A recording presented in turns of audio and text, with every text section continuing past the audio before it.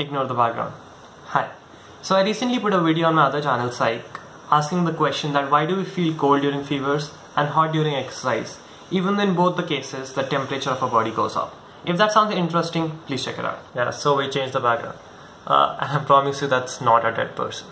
Anyway, for about two and a half years I had put nothing over there. Because initially high school happened and then college happened and then this certainly wasn't my top priority. But that is not to say that I did not try. I did try making something but I wasn't quite proud of it. So I just abandoned it midway. Yeah, so I kind of changed it again and now you can see more of it. So I had some time on my hands now and I probably won't for a while. So I just decided to go ahead with it. And if I hadn't done that now, it would have been a dead channel. So this is some form of creator's curse. So you see that people do this because of creative joy and not because of financial pressure. Because they want to, not because they have to. And when this is a thing that you bring upon yourself and which requires a considerable amount of time, considering that a 4 minute video might even require 15 hours of editing, you have to get that time from somewhere. And we all only have a limited amount of it. So once something loses priority, you just can't give it the time necessary. It just lies there and things start piling upon it and then you can't see that thing anymore. And that project you so enthusiastically used to talk about in the present tense just becomes a thing that you used to do. And because they have lives, a lot of creators just stop uploading. That came out wrong. Anyway, the older channels have a really different feeling to them. It feels like you're standing in an abandoned building. There are also other kinds of dead channels, which have stopped officially uploading. That is to say that towards the end, the creators just release an announcement saying that they're ending the channel and then they release the final full videos. So this can be because it was a series with a limited number of episodes or that due to certain lack of funds, the people were just unable to continue. And if it happens to be something that you have been following recently, it hits kind of hard. So as a note to all the dead and dormant channels out there, let's talk about a few of them. Side note, this list would be including channels which have officially ended and for those channels which just abruptly stopped uploading, the criterion is that the latest video should be uploaded about 4 years ago. This will cover a range of very unrelated topics. Okay, let's get to it. Alpinekat. Started by Catherine McAlpine, this channel contains raps performed in the LHC. There's a chance that you might have seen the LHC video before, but do check all of them out. Fav Scientist, another project from Brady Haran of the Number Numberphile fame, which features scientists from the Nottingham University talking about their favorite scientists. It features really cute animations along with great anecdotes, and it's fun to see a lot of genius people just fan personing. Hardcastle videos. Oh, here's another person who has so many channels that we have lost track of them. This was a project that Hank undertook as a thanks to all the people who had purchased his album Ellen Hardcastle.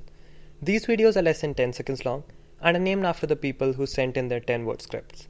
They have wonderful quotes, funny one liners, and Hank generally being awesome, which makes these videos very bingeable. PBS Game Show. As a person who watches videos about video games more than playing actual games, I like this show. It talked about game design, retro games, and raised questions regarding narrative structures and gameplay, which was not only entertaining but also pretty educational, though slightly controversial at times. And then one day they just released a video which was an ending announcement, and no coin insertions could bring it back. PBS Infinite series.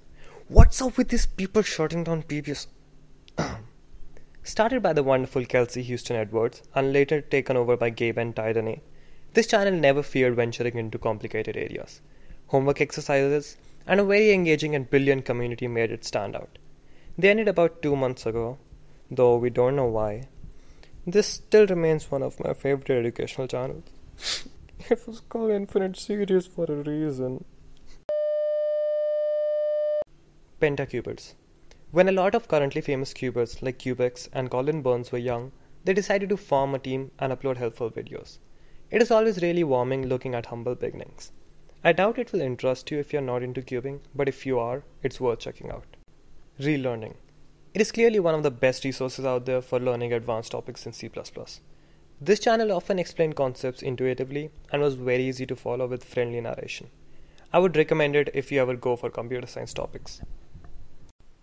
The Aji Show. Started by a circus performer, Aji Slater, who I started watching because of one cubing video that he made, and probably one of the reasons why I got into juggling.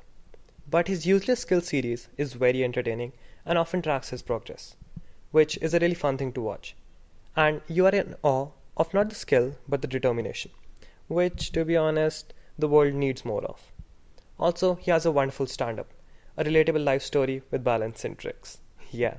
So, if you have time on your hands, please check it out. Also, he holds up his geek flag high. So, yay! Zogg from Betelgeuse. This channel presents his content through the perspective of Zogg, an extraterrestrial who comments on humanity and its behaviors. The videos range from topics like math, ethics, and rituals. The videos discuss a lot of unconventional content, have a lot of nerd references, and come on, how often do you see aliens talking sense on YouTube? The channel stopped uploading midway, and fans have been requesting ever since. Please come back, Zogg.